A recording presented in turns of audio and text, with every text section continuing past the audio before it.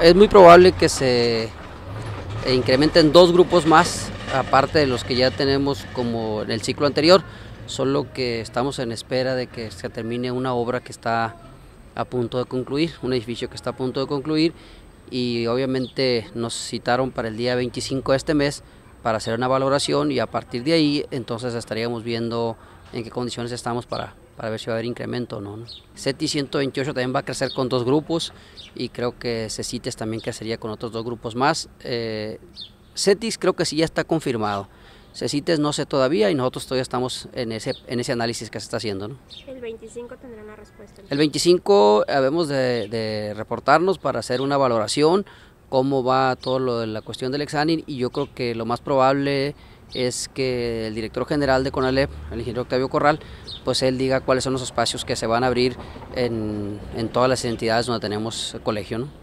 ¿Habrá amplitud también de las carreras o se mantienen con las mismas pero con mayor... No, yo creo que son las mismas carreras, lo que sí posiblemente haya ampliación de grupos y, y obviamente va a ser, eh, pues no nomás en Nogales, sino en todo el estado. ¿no?